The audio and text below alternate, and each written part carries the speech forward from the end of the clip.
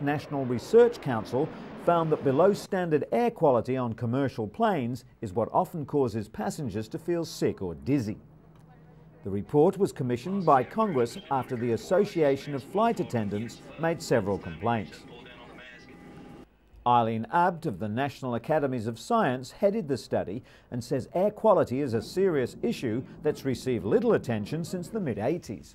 According to Abt, some of the air quality problems stem from pesticides, which several countries require to be sprayed on aircraft.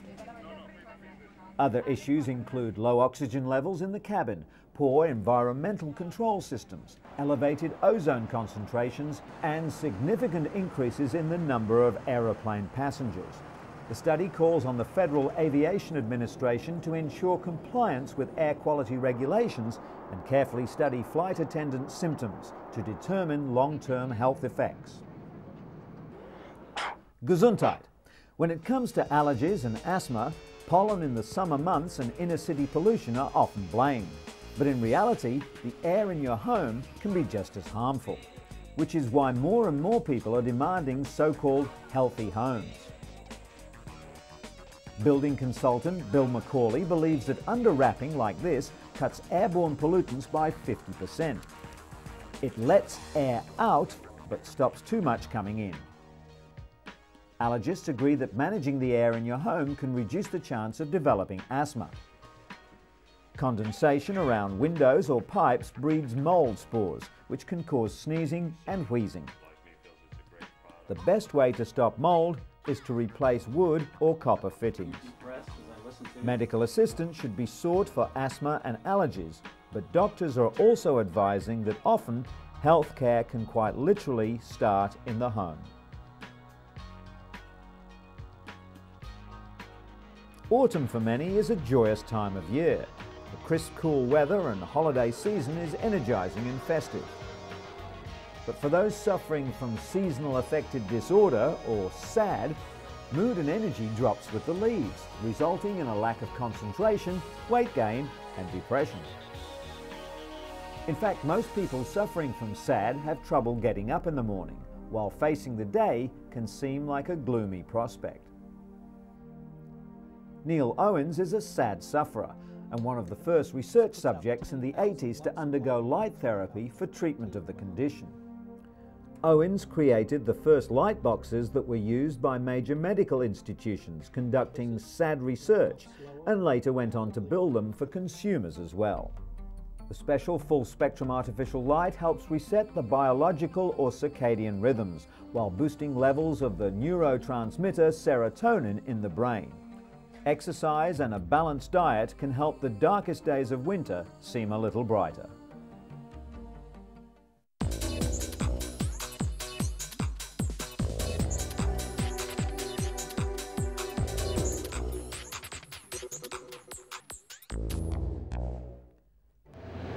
At first glance, the statistics don't seem so ominous. An estimated 163,000 people are infected with HIV or AIDS in Russia, a country of 147 million people. But experts fear the real figure could be five times higher. In anticipation of World AIDS Day, UNAIDS and the World Health Organization released the grim statistics, showing the former Soviet bloc now faces the fastest growing infection rate. The increased use of intravenous drugs is of key concern, as is the epidemic in the paediatric population. This hospital in St. Petersburg is the only one for HIV infected children, abandoned by their mothers, mostly HIV infected drug addicts. More than 80% of the reported cases are in people under 30. AIDS is now the fourth biggest killer around the world. Africa continues to be the hardest hit, with almost three quarters of the almost 40 million sufferers worldwide. Researchers in the US are reporting an alarming new increase in drug resistance among HIV positive people undergoing antiretroviral drug therapy.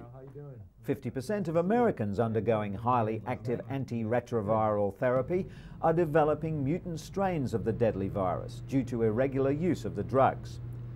Researchers measuring the blood viral levels of 2,000 people undergoing the therapy also found that 64% of participants experienced a rise in viral levels over time. This indicates that they're receiving less benefit from the drug cocktails than they were a few years ago. The main reason for these alarming figures is that drug compliance is so difficult. The study found that 20% of all newly infected people were already carrying drug-resistant strains of the virus. If the trend continues, the HIV virus could develop resistance to all drugs. The AIDS crisis has had another unexpected side effect too. It sparked a diverse cultural response from both HIV positive and HIV negative artists. Positive Lives is one of the most remarkable responses. For eight years, it's charted the course of the virus and its impact on people's lives. According to the exhibition curator, Kevin Ryan, this art has many different uses for health, for education, and for knocking down barriers of stigma. Literature has also seen an explosion of HIV content. AIDS provides elements that are crucial for a good read love, sex, death, and plenty of drama. Like no other health crisis, HIV has sparked creativity that comforts, questions, and also explains.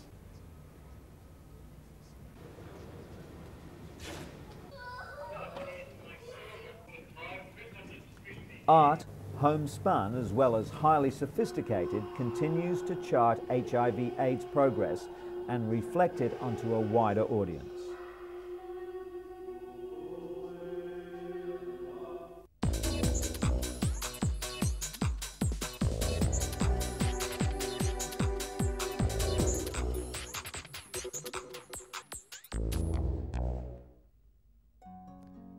Val Garvey was told not to expect any miracles when her son Poyrik was diagnosed with autism three years ago. Doctors told her he'd never be able to form relationships, use his imagination, hold conversations, or even dress himself. Now six, Poyrik can do all that and more. Autism remains a mysterious condition that affects one in 500 people. It's a neurological disorder that varies widely. But what autistics all have in common is an inability to forge social relationships naturally. Poyrik's progress came from a unique home-based educational program pioneered by the parents of 28-year-old lecturer and writer Raun Kaufman of the Sunrise program at the Autism Treatment Center of America. At 18 months of age, Raun was diagnosed with severe autism and an IQ of less than 30. By the time he was five, all traces of autism had disappeared. The Kaufmans realized that they had to get Raun's attention, so his parents joined him in his fun activities. The Garveys are now following the principles established by the Kaufmans 25 years ago. Through playing, Poyrik is learning to unlock his imagination, to communicate his desires, and above all, to build confidence. The Sunrise program doesn't offer a cure, but it provides the means for an autistic person to show the way in and for their parents to show the way out. For these youngsters in Beijing, studying is a constant uphill struggle. All of them are mentally handicapped to varying degrees. The Beijing Fortune School for Mentally Retarded Children is attempting to give these 50 children a brighter future. According to a recent survey, around 1% of children under 14 are mentally handicapped. That means that over 3 million children are in need of specialized education, but very few ever go to school. Two women, Professor Huang Yiping and Professor Mao Yuyan, teamed up to open this school in 1985. Professor Huang's daughter, Wang Wei, is now 25 and works in the school kitchen. Her proud mother is determined to give other children something her own daughter never had access to proper care and education. The Beijing Fortune School has grown over the years. It now has a staff of 20, including six full-time teachers, and provides education for children aged 3 to 14. The school is privately funded and has developed its own teaching methods. There's much emphasis on recreational activities as well as the arts. It also provides in-house training for its teachers and support staff.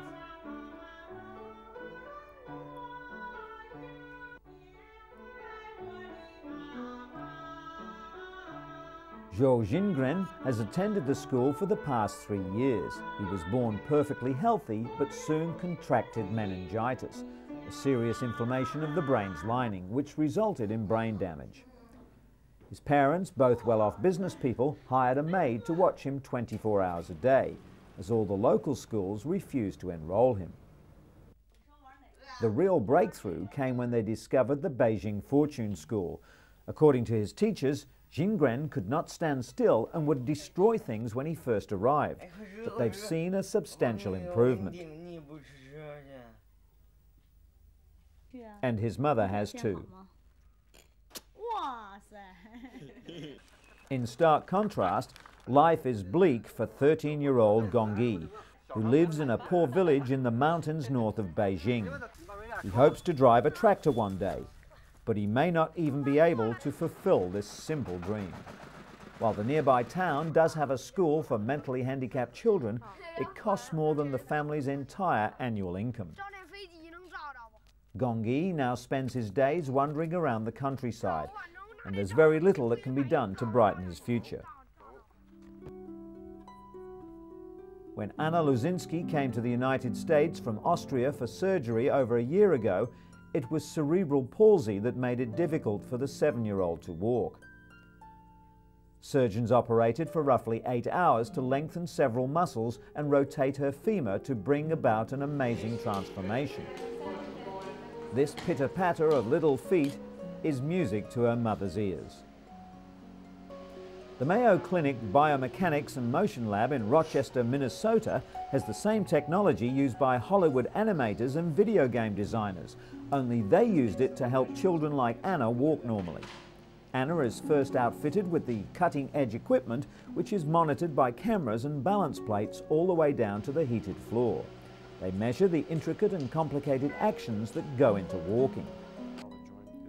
From the location of several small markers, doctors can calculate how the joints are moving, which is then used to guide surgical treatment of patients. Surgeons who performed Anna's previous operation are amazed at the dramatic change in her gait. Today's session is more than just a celebration of her progress. Anna is back for more treatment. This computer-generated stick figure made in her likeness will help the surgical team plan her next procedure. It's the same type of software that perfected the legendary swing of Tiger Woods for a video golf game that's putting a swing in the step of youngsters like Anna.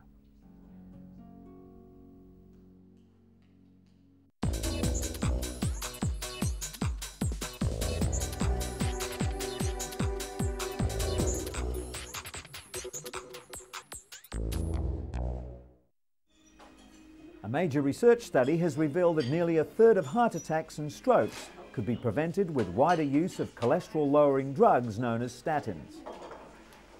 The study, billed as the world's biggest trial, involved 10,000 people testing the new drugs.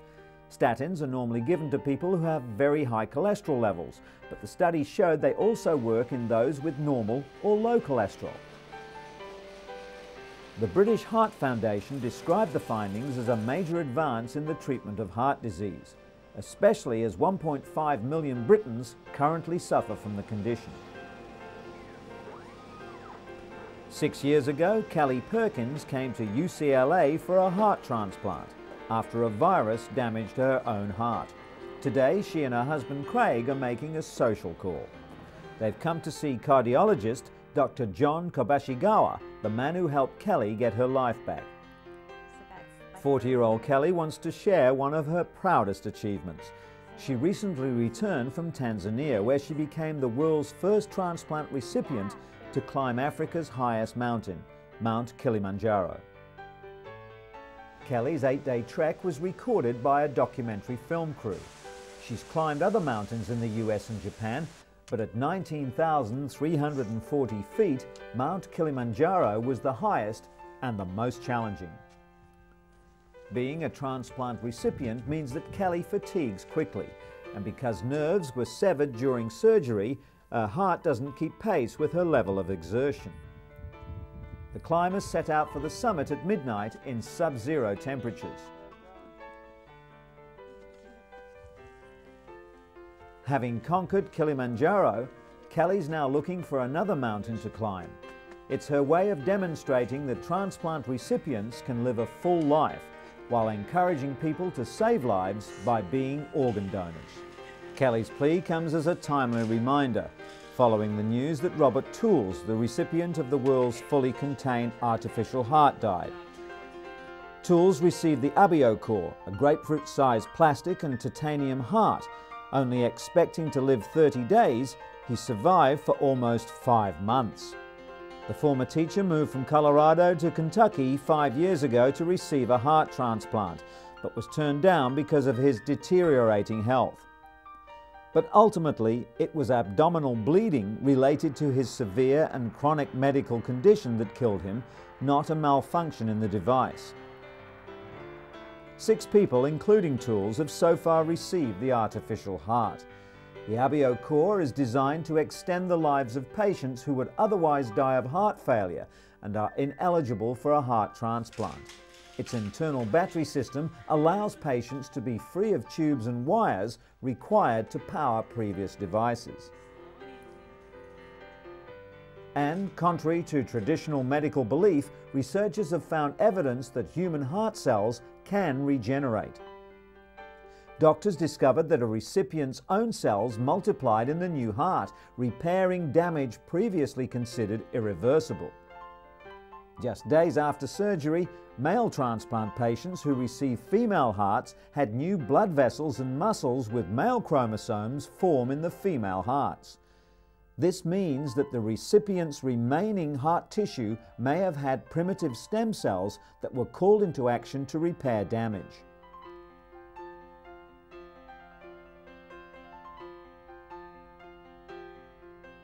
Scientists are now trying to harness the self-healing power of cardiac stem cells. Someday they could treat millions of heart conditions just by stimulating the body's own regenerative power.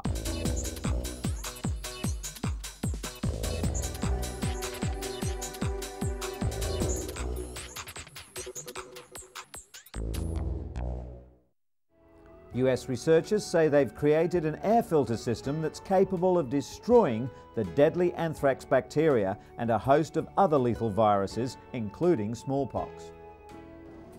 The air purifier that can kill airborne biological agents in ventilation systems was developed at the Johns Hopkins Applied Physics Laboratory in Maryland. Dr. Richard Potember created the device out of an inexpensive commercial filter then added the purifying system. The hybrid unit combines free radicals to help kill the viruses, with new technology known to neutralize airborne pathogens with ultraviolet light. To test the device, scientists piped in molecules that imitate viruses, bacteria and spores. After being run through the filter and cultured, the artificial contaminants were dramatically reduced to an almost undetectable level.